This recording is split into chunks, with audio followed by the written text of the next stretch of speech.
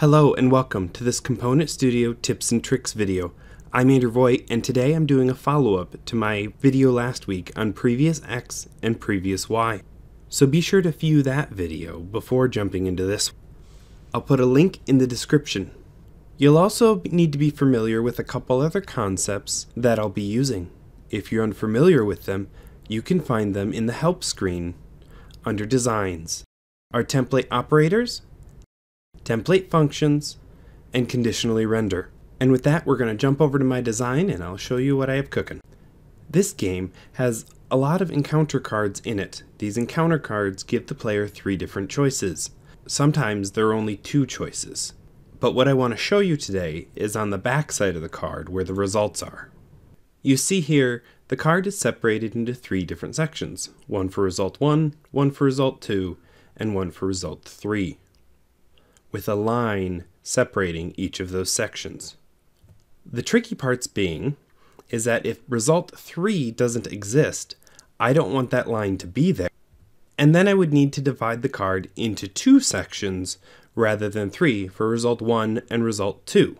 So I'd need to make sure that the space allotted to each of those results adjust accordingly. So let's look at some other cards quick. Here we see one with two results where result 1 now takes up a larger area and result 2 stretches to the bottom of the card. Or here's an example with two very long results that both take up their whole half of their cards.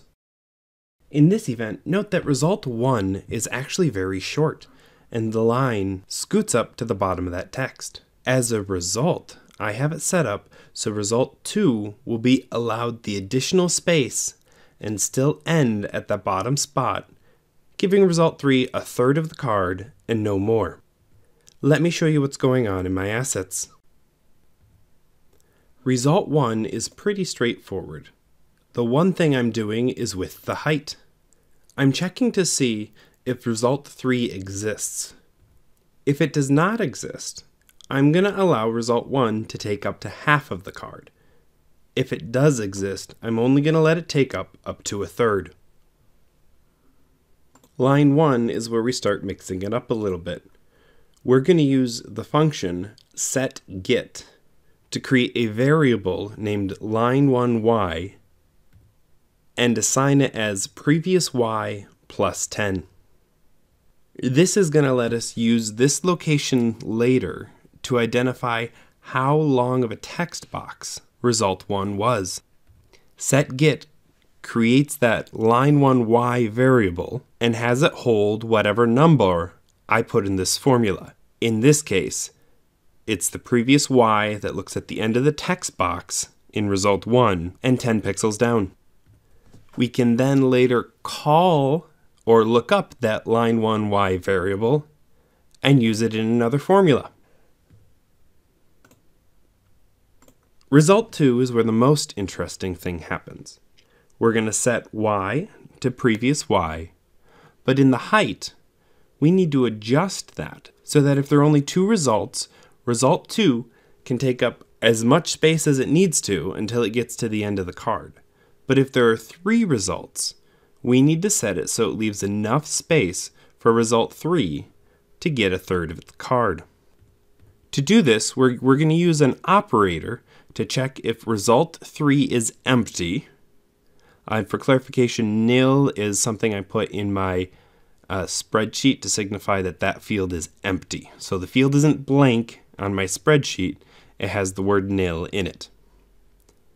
So we're going to check to see if result 3 has nil in it.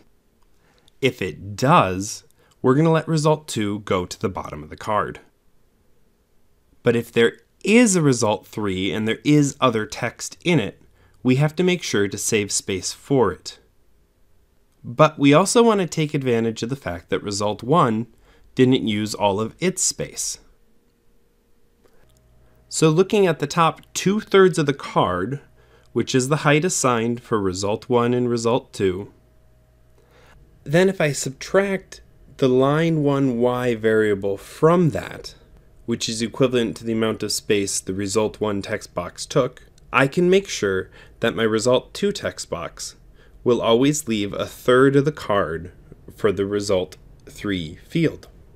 And then for my line 2 asset and my result 3 asset, both of them are using a conditional render function, checking if result 3 is set to nil.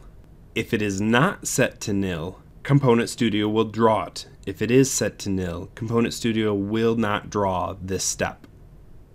I just wanted to show you an example with this of how you can use some of the more advanced features with each other to create truly dynamic cards within Component Studio. I'm going to click through some of my cards and just watch how much the text boxes uh, change and shift, but they always leave space for each other. Thank you for viewing this Component Studio tips and tricks video. If you have any other questions or interesting things you'd like to see in the system, uh, please leave a comment or send me a note. I'm Andrew Voigt, helping you make games to be proud of.